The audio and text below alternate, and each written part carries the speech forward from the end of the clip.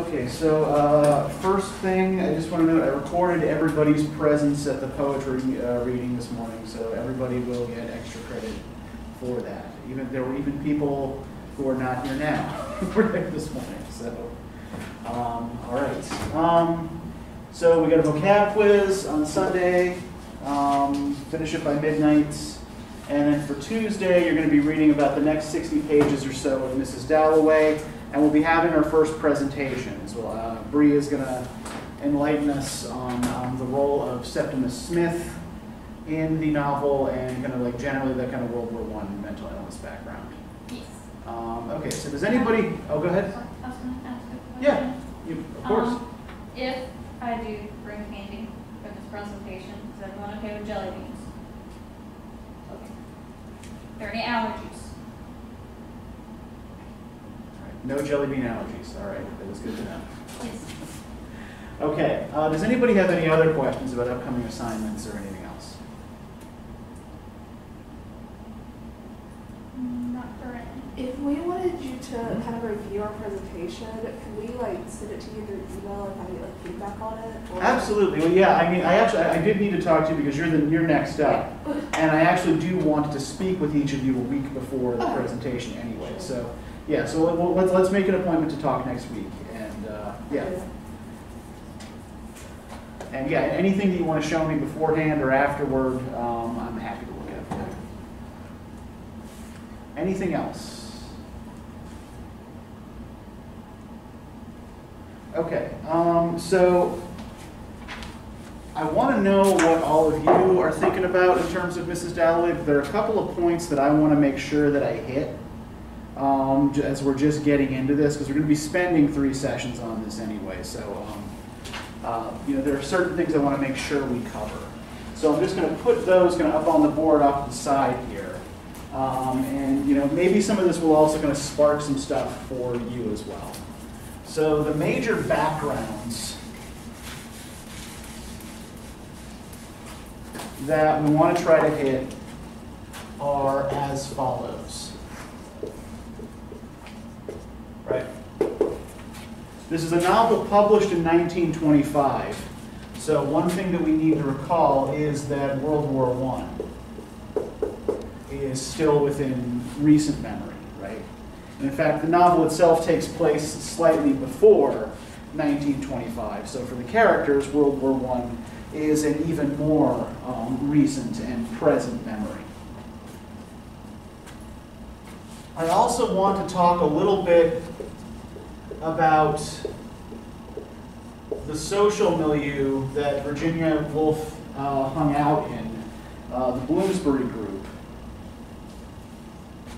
The Bloomsbury ideas and ethos, I think, have a big impact on what happens in this text.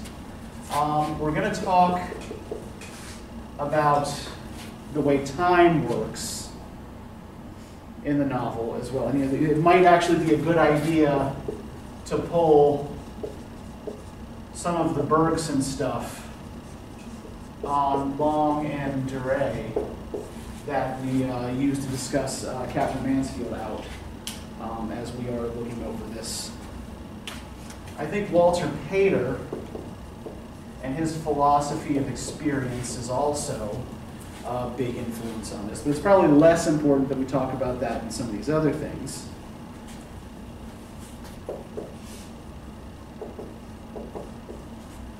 Might want to look at this in terms of developments in early 20th century feminism. And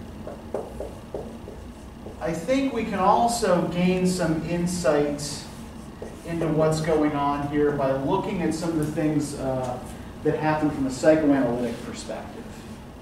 So we're going to maybe apply some Freudian theory directly to um, what's going on in the novel. Not because um, I think that Freud is particularly useful for actually understanding contemporary human psyches, but because Woolf was interested in Freud and was familiar with his theories and is kind of directly working with them um, in her fiction. Um, so that said, like let's try to get your impressions of this before we continue with it. So what did y'all think of this? How'd this go for you? It was a little confusing to me at first, like with Okay. the whole like flashbacks and like the time. It was. Okay. I think I Okay. just had to like. I was reading it, but I wasn't like reading it. If that makes sense. So I had to like start over. I was like, okay, Yeah. we have to figure this out. And this is a novel that is going to do that to you a lot because there are frequent shifts in temporal and physical setting and in perspective as well, right? So particularly, um, you know, that scene near the beginning where they're, where everyone in the square is watching the airplane, right? And it keeps going, like, kind of goes around in a circle from perspective to perspective to perspective to perspective, and there are all these characters we're never going to see again and we're getting their thoughts about this airplane, right? Trying to trying to puzzle out what the skywriter is spelling, turns out to be an ad for toffee. So yeah, so we've got these shifts in perspective.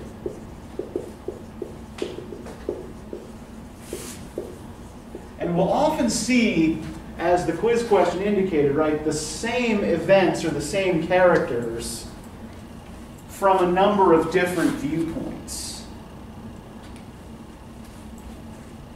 So we get these shifts in perspective, we get these shifts in time and place as well, right? You know, like Clarissa, for example, will be doing something in her house that reminds her of her childhood at the family estate in Bourton, right?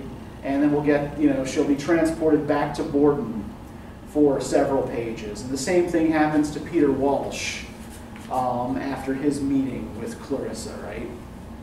So yeah, we we jump around a lot, and it can be really hard to keep track of where we are and whose head we're in.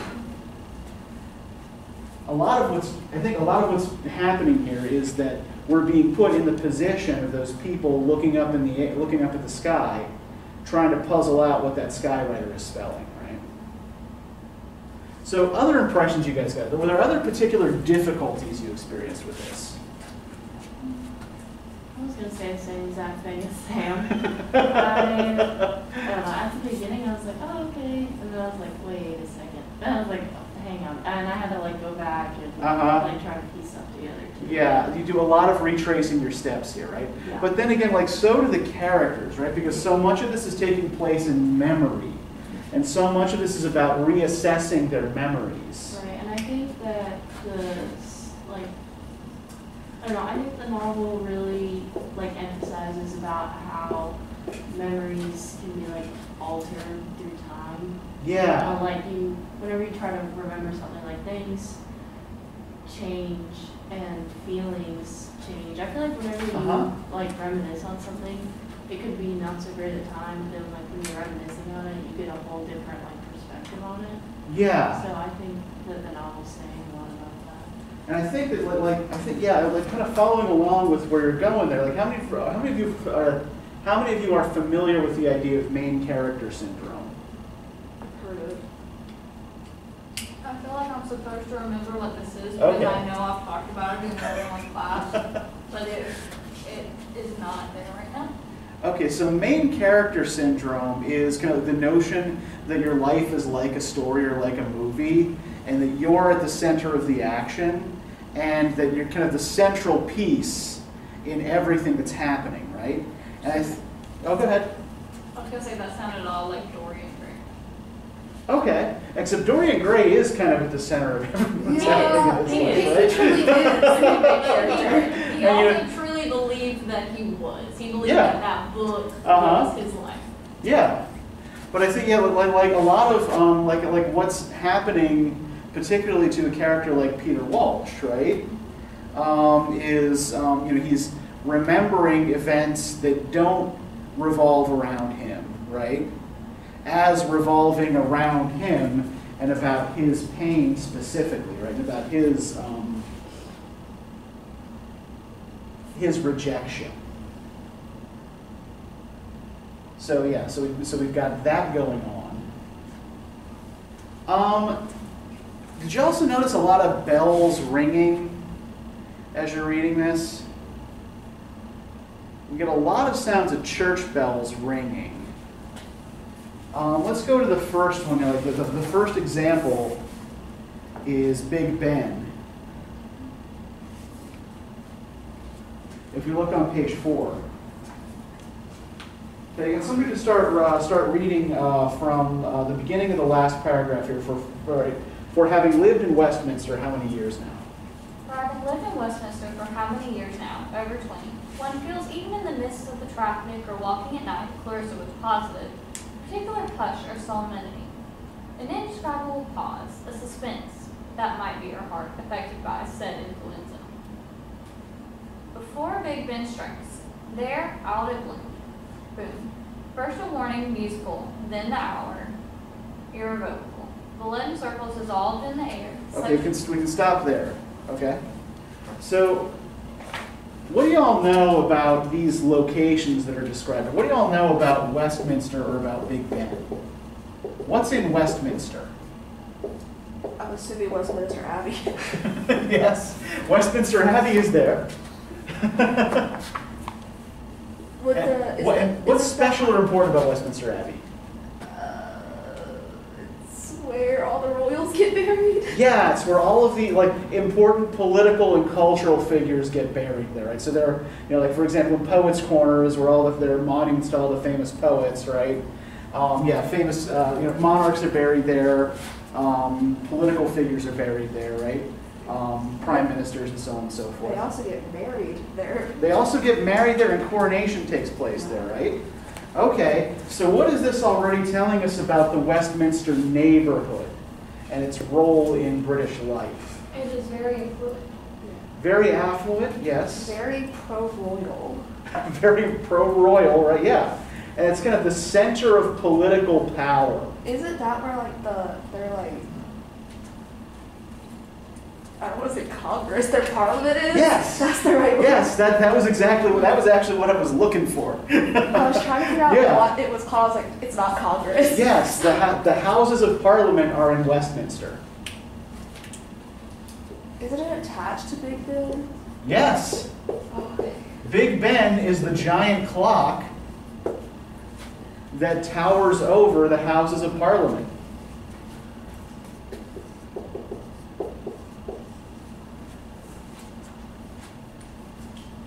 So we have Big Ben as kind of like the official clock of the nation, right?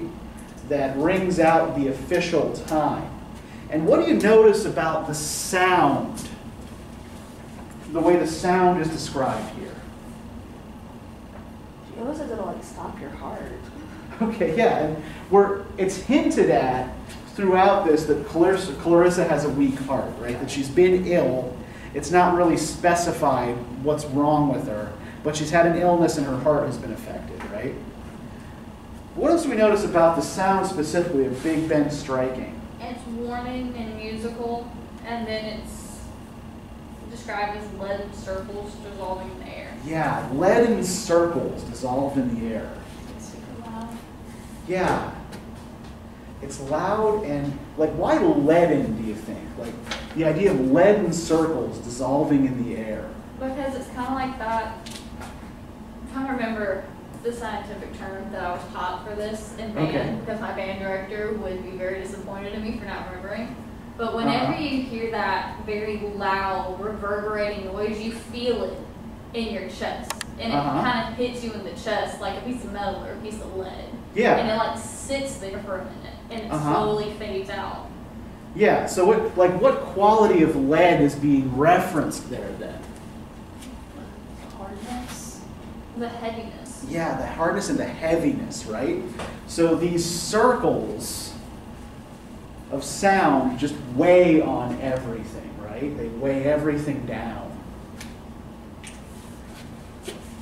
So there's this idea of time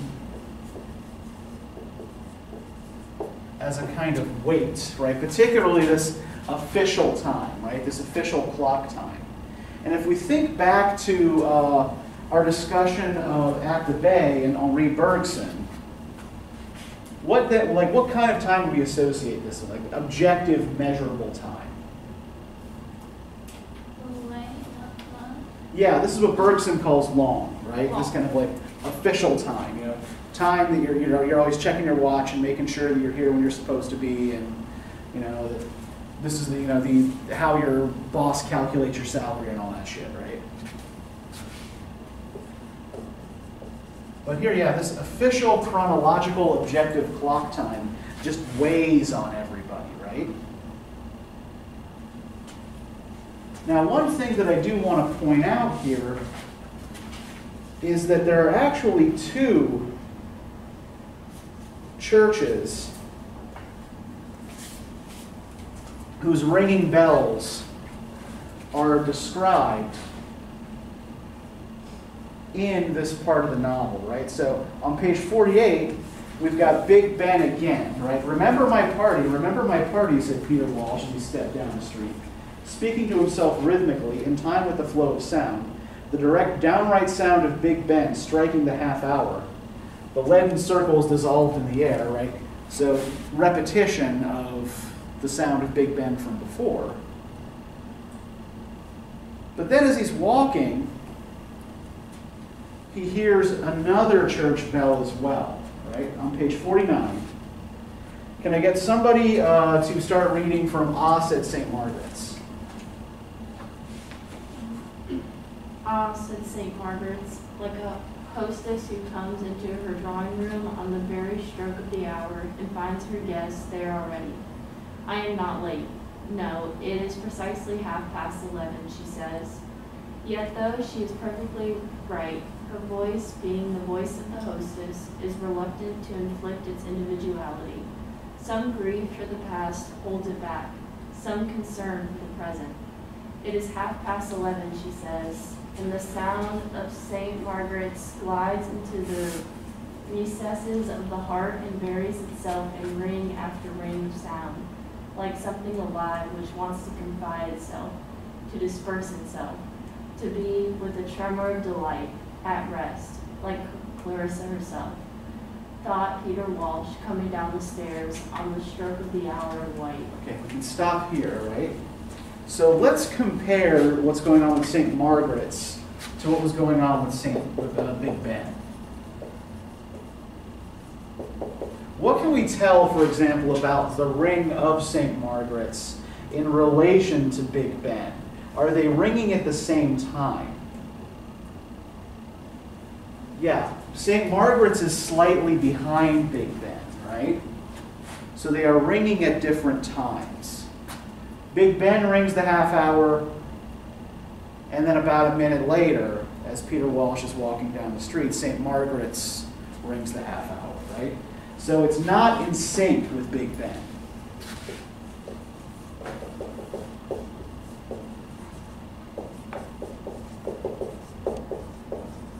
What else is, you know, potentially interesting here about the way St. Margaret's bells are described? They're Eternal. softer. Okay, they're softer, yeah. They're more timid, they're more reluctant, but with a desire to be like the louder. Okay, like, yeah, the, yeah, he, he mentions reluctance, right? Like that, like that, you know, minute out of sync is like holding back, right? Even though it's, you know, probably just a mechanism in the cogs. What else is like? What what kinds of things does he compare the bells of St. Margaret's to? Something alive. Okay, yeah, like a living thing, right? Not like these dull lead rings, right? Good. What else? Keep going. Mm-hmm. It wants to confine itself and disperse itself at the same time. Uh huh. And yeah, and then he compares it to Clarissa. Yeah. And how is how are these bells like Clarissa?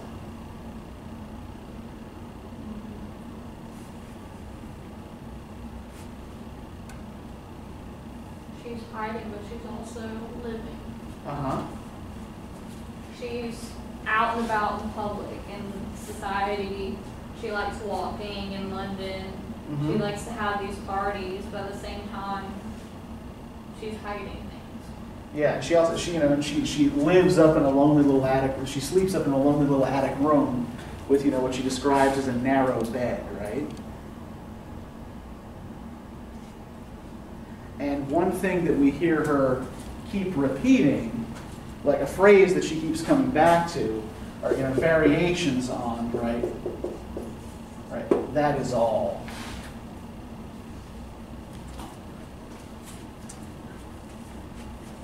So we'll come back to that in a minute, but I just want to stick with St. Margaret's for a minute. What does Peter accuse Clarissa of being when he's angry with her? What does he call her that upsets her back in their memories?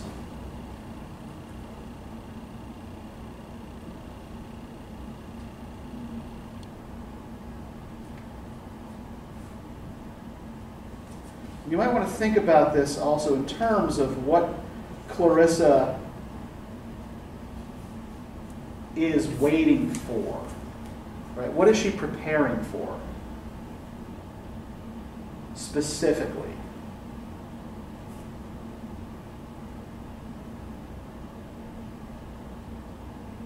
What does she need to order the flowers for, for example? What does she insist Peter remember? Oh, the party. Yeah, she's preparing for a party, right? She's having the doors taken off the hinges for the party.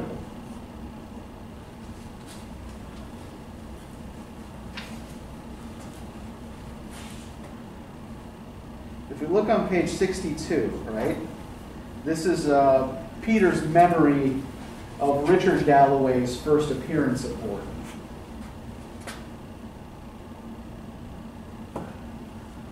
The perfect hostess, he said to her, whereupon she winced all over.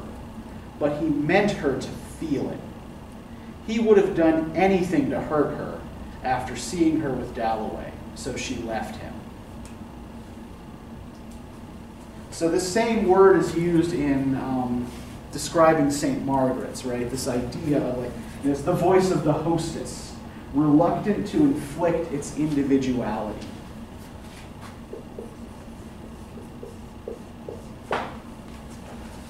Now, I think this is where we can link the time discourse up with feminist discourse.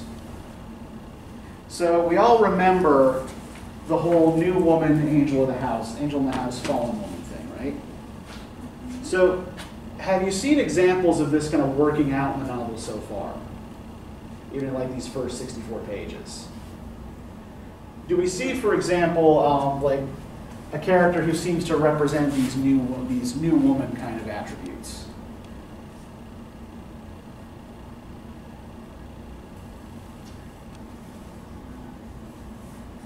I feel like Clarissa does, or she's she wants to, Uh huh. but she's stuck in the angel of the house role because that's who she married, basically. Uh huh. Yeah, she she married a Tory politician, right? And so her life has been conventionality. Whereas in her youth, she did have this friend with whom she dreamed unconventional dreams, right? You know, this friend who smoked cigars and who, you know, ran naked down the hallway and took, you know, pleasure in shocking people, right? There's this friend, Sally Seton,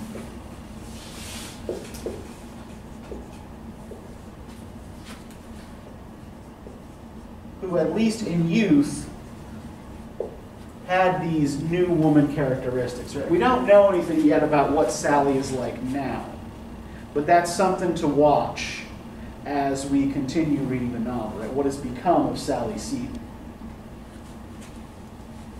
And in fact, one of Clarissa's treasured memories is sharing a little secret kiss with Sally?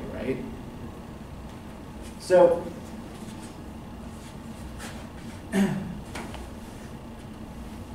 Woolf thought and wrote a lot about the angel in the house motif. And she considered that particular ideology, that particular um, symbol, the thing that most held middle class women back from self-expression. So I'm going to read you a little bit from an essay that she wrote in 1940 called Professions for Women.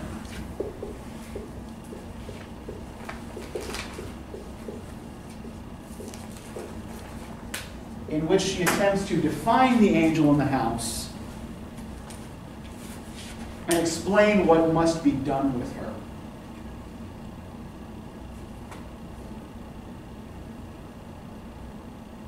Articles have to be about something. Mine, I seem to remember, was about a novel by a famous man. And while I was writing this review, I discovered that if I were going to review books, I should need to do battle with a certain phantom. And the phantom was a woman. And when I came to know her better, I called her after the heroine of a famous poem, The Angel in the House. It was she who used to come between me and my paper when I was writing reviews. It was she who bothered and wasted my time and so tormented me that at last I killed her. You who come of a younger and happier generation may not have heard of her. You may not know what I mean by the angel in the house. I will describe her as shortly as I can. She was intensely sympathetic. She was immensely charming. She was utterly unselfish. She excelled in the difficult arts of family life. She sacrificed herself daily. If there was chicken, she took the leg. If there was a draft, she sat in it. In short, she was so constituted that she never had a mind or a wish of her own, but preferred to sympathize always with the minds and wishes of others. Above all, I need not say it, she was pure. Her purity was supposed to be her chief beauty, her blushes, her great grace. In those days, the last of Queen Victoria, every house had its angel. So, so far at least, like, who does this sound like? If we're applying this to this novel. Yeah, Clarissa seems to have a lot of these characteristics, right? Um, she cares a great deal about what others think of her. Um, you know, she is willing to sacrifice her own comforts for the sake of Richard or for Elizabeth or even for Peter, right? Um, and she is always trying to like put herself in other people's positions, right? You know, she she does seem to have a kind of talent for empathy, right?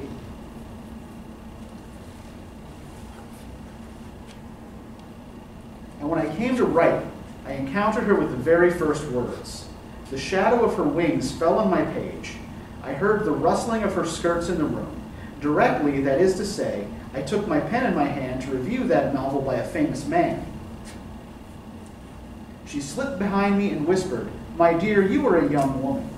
You are writing about a book that has been written by a man. Be sympathetic, be tender, flatter, deceive. Use all the arts and wiles of our sex. Never let anybody guess that you have a mind of your own. Above all, be pure. And she made as if to guide my pen. I now record the one act for which I take some credit to myself, though the credit rightly belongs to some excellent ancestors of mine who left me a certain sum of money, shall we say 500 pounds a year, so that it was not necessary for me to depend solely on charm for my living. I turned upon her and caught her by the throat. I did my best to kill her. My excuse, if I were to be had up in a court of law, would be that I acted in self defense. Had I not killed her, she would have killed me. So let's kind of think about this episode of killing the angel in the house, right? Why does Woolf feel she needs to kill the angel? She would be like, Yeah, the angel is what's stopping her from writing honestly, right? Every time she makes to put her opinion down on the page, the angel, right, this ideology that she's grown up with, keeps getting in the way and stopping her from saying what she really thinks. He So-. Yeah, exactly. She's, she was arguing that the angel is a kind of oppressive ideology that prevents women from genuinely expressing themselves. And, you know, she's free from financial necessity, so she doesn't have to worry about finding a husband and being charming just to survive. Which she says allows her a certain kind of freedom in dealing with the angel, right? Like, I don't have to put up with this shit. I'm just gonna, I'm gonna strangle you. So, has Clarissa Dalloway managed to strangle her idea of the angel?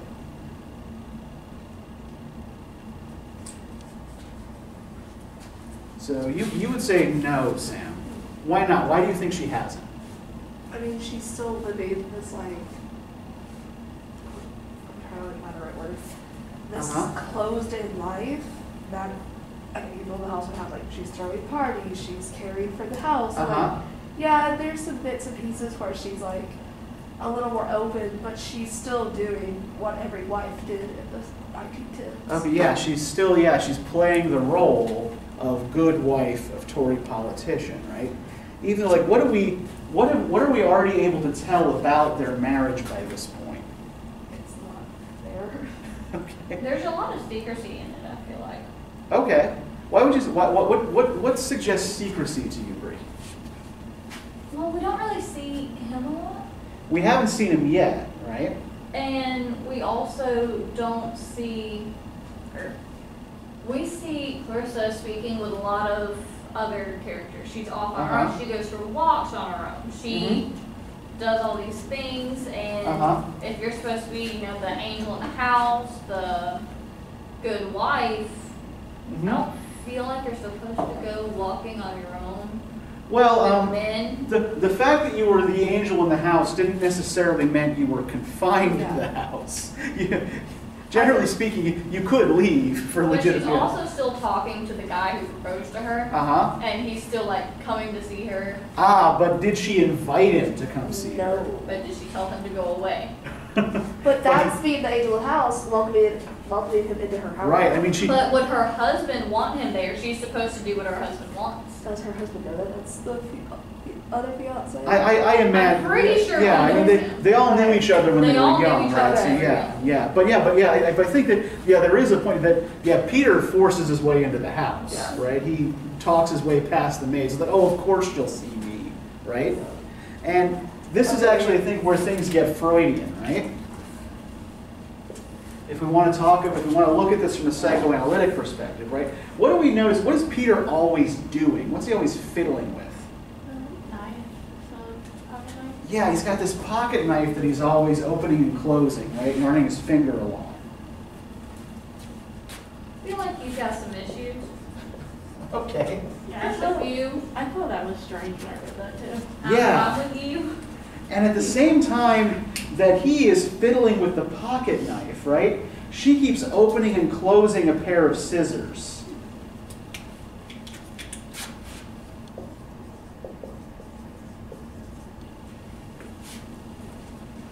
So my interpretation of that was Uh-huh. that he's coming off as a little bit cuckoo, and she's holding the scissors ready to take care of business if he comes at her.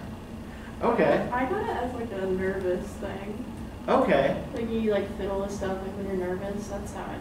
But sharp objects No, it is make it strange. very, Yeah. very like, Uh-huh. em- like Yeah. embodying. I think that I um, it's, I feel like I went too deep into it. No, go, no, go, go, go I- ahead, keep because talking. a pocket knife, I always like my thing, like my association with pocket knives is someone has one on Christmas and you like pass around like opening the boxes, Okay. and you do the same thing with scissors. sure. But I feel like in this moment in time, the pocket knife is more like of a masculine thing, and then the scissors are the more feminine thing. So I felt I felt like it was putting Yeah. them on the same level. Oh, that makes sense. Absolutely, yes.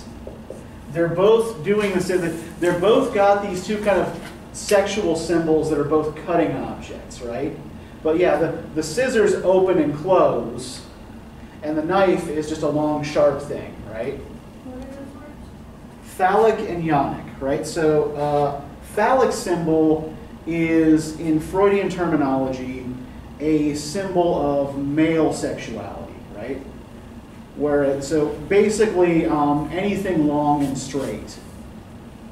Whereas a yonic symbol um, is a symbol of female sexuality, usually something concave or something that opens and closes. Like in this case, the, the scissors are actually unusual in being a cutting object, but like things like a cup or a lake or you know a cauldron, things like that.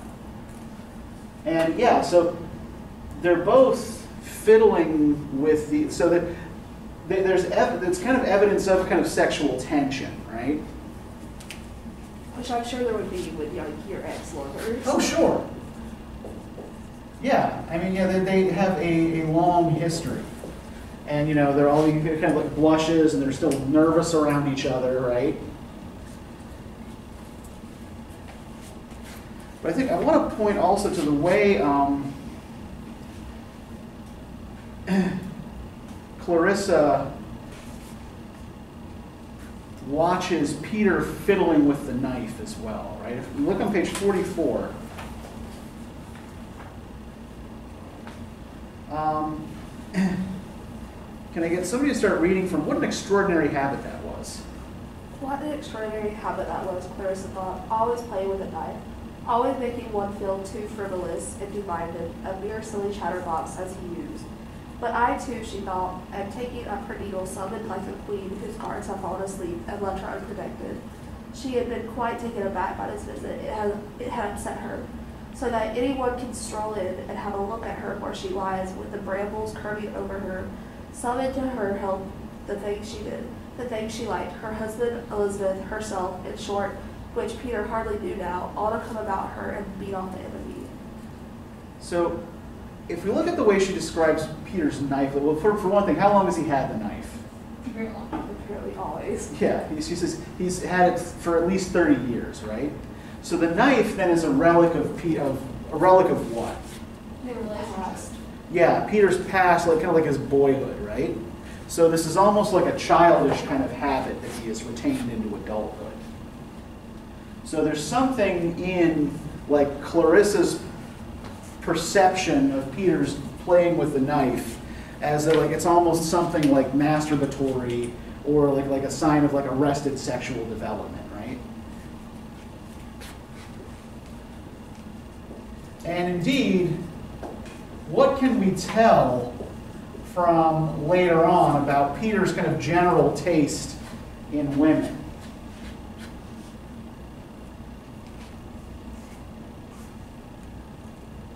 Is Peter typically attracted to women his own age? He likes the younger ones. Yeah, in fact, he goes so far as to stalk a young woman he sees in the park, right? All the while, again, fiddling with the knife until she runs back into her apartment. And we see the whole thing from his perspective, not hers, right? So, um, let's just take a quick look at that.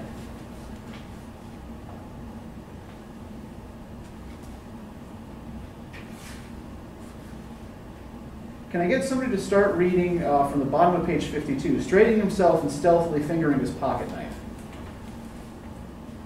Straightening himself and stealthily fingering his pocket knife, he started after her to follow this woman. This excitement, which seemed even with its back turned to shed on him a light which connected them, singled him out, as if the random uproar of traffic had whispered through hollowed hands his name, not Peter, but his private name which he called himself in his own thoughts. You, she said, only you, saying it with her white gloves and her shoulders. Then her thin, long cloak, which the wind stirred as she walked past Dent Shop in Cockspur Street, blew out with an enveloping kindness and a mournful tenderness, as of arms that would open and take the tired. Okay, and then um, skip ahead a little bit to, but other people got between them in the street. But other people got between them in the street, obstructing him, blotting her out. He pursed. She changed. There was a color in her cheeks, mockery in her eyes. He was an adventurer, reckless, he thought, swift, daring indeed, landed as he was last night from India. A romantic buccaneer, careless of all these damn proprieties, yellow dressing gowns, pipes, fishing rods in the shop windows, and respectability in evening parties, and spruce old men wearing white slits beneath their waistcoats. He was a buccaneer. Okay, so let's like pause for a minute and like think about how Peter perceives all this playing out. Like, what does he see when he sees like the color in her cheeks as she's walking away from him? I think he sees this as like a game and like she likes him back and she's just like toying with him. Yeah. But uh, if anybody was following me with like the pocket knife, I think Yeah. it's Yeah, totally if so- I'm telling you, Uh-huh. he needs help. Yeah, I've seen- one of these guys who, like nowadays he would not know if I take no for an answer. And he'd be Uh-huh. like, "Well, I bought you a drink," and he'd be like, "Thank you," but that Uh-huh. just like, yeah. Yeah. Yeah, I think mean, he go ahead. he's got some lingering issues Mm-hmm. from I think past events, and I don't think he's aware of how it's affecting him. Yeah, he certainly doesn't seem to be aware of how this might be perceived by the young woman in Yeah. question here, right? You know, you know, why does she have color in her cheeks? Probably because she's huffing and puffing, trying to get away from it, right? You know, especially given the speed with which she opens up her apartment door and, um, you know, makes her way inside, right? Um, if we look at, you know, page 54, right? Laughing and delightful, she had crossed Oxford, Oxford Street and Great Portland Street and turned down one of the little streets, and now, and now the great moment was approaching, for now she slackened, opened her bag, and with one look in his direction, but not at him, one look that bade farewell, summed up the whole situation and dismissed it triumphantly, forever, had fitted her key, opened the door, and gone. So, in Peter's eyes, this is all game of seduction, right? In this woman's eyes, this is probably getting the hell away from a stalker. Right? This creep started following me in the park, and it was all I could do to get home with all speed. So, in Freudian terms, right? And let me explain why Freud is particularly relevant to Woolf here first, right? So, Woolf and her husband actually ran a small independent press. It was called the Hogarth Press. And they ran it from 1917 to 1946 when it was bought out by one of the big British publishing houses. But in addition to publishing um, works by some of their good friends, um, other Bloomsbury intellectuals, they also published a lot of translations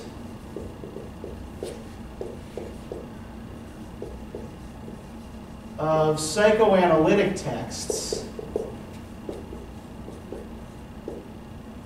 that were coming out of Central Europe at the time. So, you know, the work of people like Sigmund Freud and Carl Jung, and you know some of their acolytes, right? So, Woolf was familiar with and interested in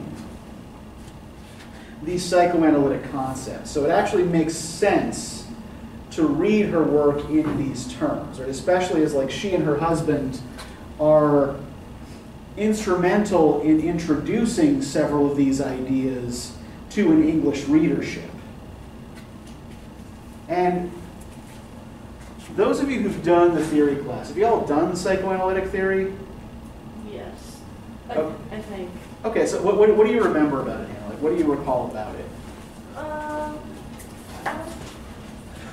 I have my Got your notebook. notes. It has been a long I have my time. notebook. Do I remember anything? You can't blame me for what I don't remember for theory. That was the semester everything fell apart. Uh, Halfway through, we went online and everything went Yep. down. I Yeah. haven't taken it yet, I so can't be blamed. Uh-huh. I don't even know if we did it yet, actually. Because it was like closer in the book, but I think we skipped over it. I think we're coming back to it. Okay, okay. We might have done it, and I just, yeah. I have no idea. The only thing I clearly remember from that class is cultural studies. All right. No, no, we didn't, we didn't do it. I would have written down. Okay. So the central element of Freud's theory is about right desire. And by desire, like this is often read as kind of simply sexual desire, but essentially, like it means like desire just means like you know something that you want intensely, right? And what we tend to do in dreams and in narratives is uh, kind of encode what our desires are into um, these kind of more standard literal narratives, right? So, from a Freudian perspective, all text is essentially allegorical, right? It works on two levels. The first is the manifest content.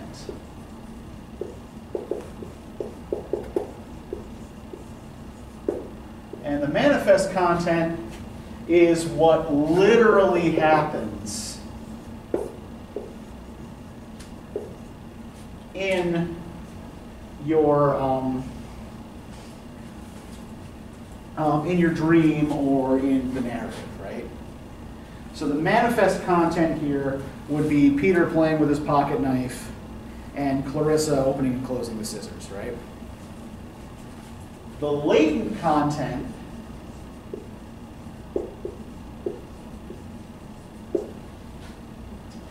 is the sublimated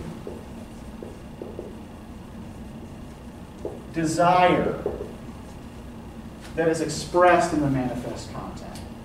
Right? So because we know that like these desires are often things that, you know, maybe we're not supposed to have, right? Or that, you know, would reflect badly on us if we openly expressed that we wanted them. We, do, we through a process called sublimation, we turn them into symbols. So the knife and the scissors become these symbols of Peter and Clarissa's um, simultaneous desire and repulsion, right? Because you know they are on the one hand, you know they're both shaped in uh, you know the conventional sexual manner, right? But they're also both cutting instruments, so they're instruments of separation as well.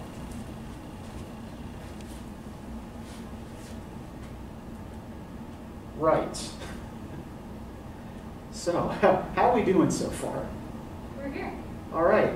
We're on board the boat. All right. Has this gotten too weird for you yet? Surprisingly, no. All right. The Titanic is still sinking. Still going. oh, good. All right. Yeah, Hannah. I have noticed something here. I don't know if I'm just reaching or if it's actually relevant. Reach away.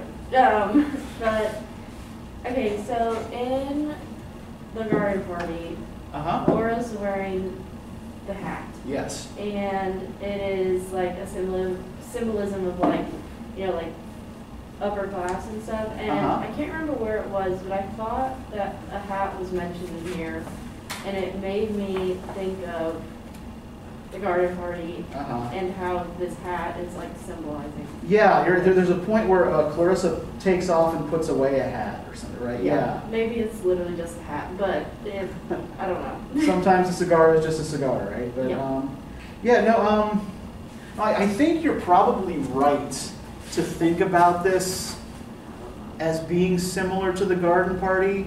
Uh, Woolf and Mansfield did know each other. Um, I wouldn't say they were exactly friends, but they traveled in similar circles. They knew a lot of the same people, and they did um, social. Woolf kind of looked down on Mansfield a little bit as someone a little bit common. Um, you know, like Mansfield was a you know was a Kiwi trying to make it London, so there's that kind of aspect of the colonial trying to integrate herself into London society, not entirely successfully. Um, but yeah, I think that the whole idea of the party here, right? And then, you know, Elizabeth, the daughter, being 18 years old and on kind of like the verge of adulthood, right? Um, and some of the condescending thoughts about working people. Yeah, I think there's a lot here that is really similar to what's going on in Mansfield. I think the, the primary difference here being that the central consciousness in the story um, is a middle-aged woman rather than a young girl. So we're looking at you know like very different stages of life. Yeah, even like you know, Clarissa's going to throw a party, right? This is all preparation for a party, and even kind of like some of the stuff about death that suffuses the garden party. I think is present here as well. Um, let's point for a second to page 31. I think I kind of mentioned this before. And I think that this is um, maybe also where she's taking off the taking off the hat. Um, can I get somebody to start reading from Like a Nun Withdrawing? Like a nun withdrawing or a child exploring a tower, she went upstairs, paused at the window, came to the bathroom. There was the green linoleum and a tap dripping. There was an emptiness about the heart of life, an attic room. Women must put off their rich apparel. At midday, they must disrobe. She pierced the pincushion and laid her feathered yellow hat on the bed. The sheets were clean, tight stretched in a broad white band from side to side. Narrower and narrower would her bed be. The candle was half burnt down, and she had read deep in Baron Marbot's memoirs. She had read late at night of the retreat from Moscow. For the house sat so long that Richard insisted, after her illness, that she must sleep undisturbed. And really she preferred to read of the retreat from Moscow. He knew it. So the room was an attic, uh, the bed narrow, and lying there reading, for she slept badly. She could not dispel a virginity preserved through childbirth which clung to her like a sheet. Lovely in girlhood, suddenly there came a moment. For example, on the river beneath the woods at Lebanon, when through some contraction of this cold spirit she had failed him. Okay, thanks. I think we can pause here, right? So I think there are two important ideas intersecting um, in this paragraph here. One of them um, kind of like hinted at directly through the language of the paragraph, and the other more kind of symbolic. So, what information are we getting here about Clarissa's relationship with Richard? They're not rolling in the bushes. They are not, and have not been for some time, right? They no longer sleep in the same bed. Um, it appears that like they've never, like apparently she has never particularly enjoyed having sex with Richard, right? And she re- regards this as a way in which she has failed him, right? A coldness of spirit on her part. So this is kind of very angel in the housey, right? Is, you know, like, I could not give him what he wanted, right? Thinking of it as a, a way in which she failed him, rather than thinking about ways in which he might have failed her, right? But there's another thread that's kind of coming through all of this, right? If we look, for example, at the narrower and narrower would her bed be, the candle half burnt down, the virginity which clings to her like a sheet. What else does this maybe look like? What else is she thinking about or contemplating?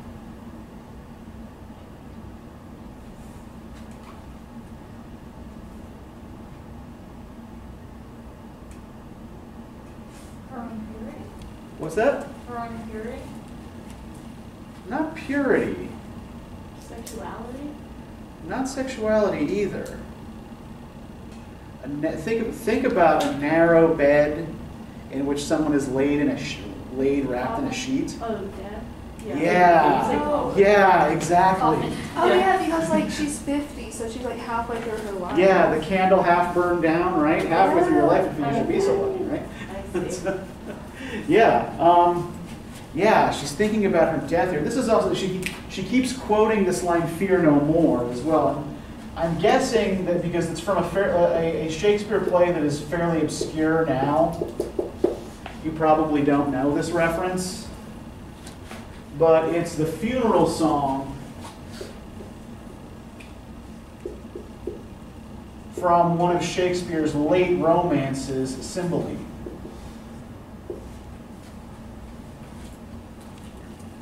And the gist of it is to kind of like welcome death as a friend and as a release from pain.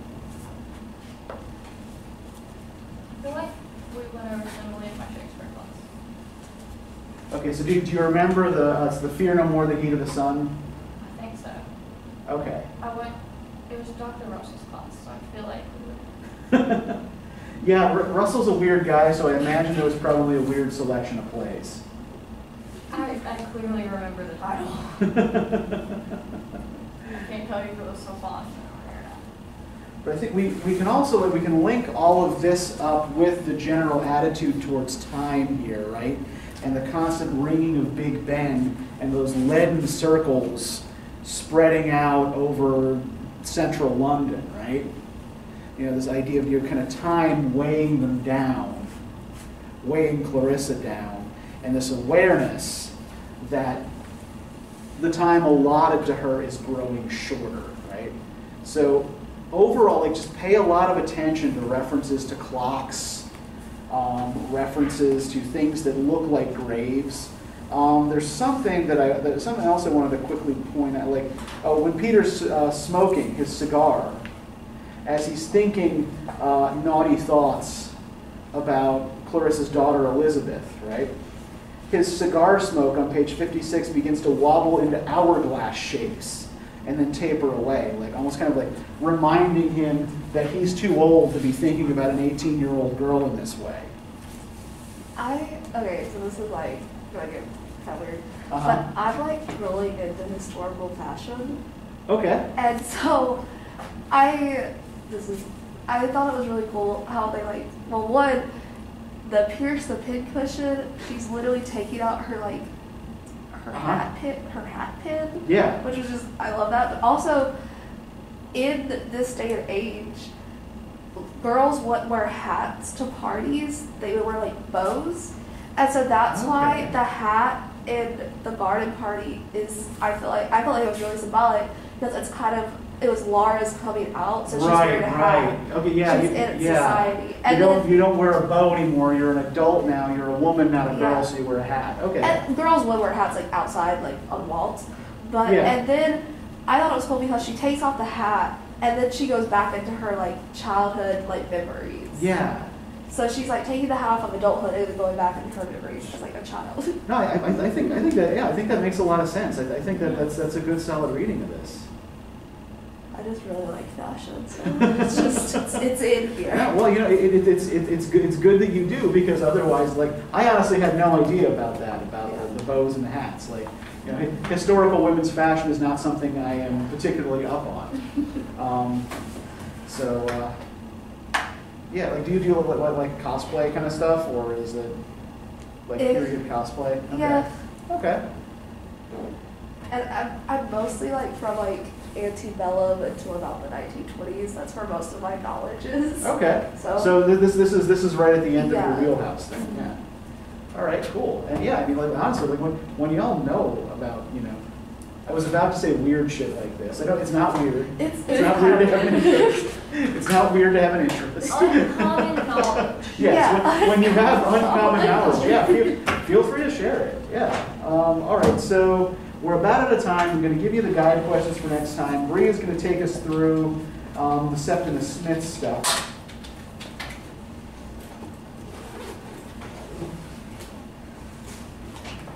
And y'all have yourselves a good weekend.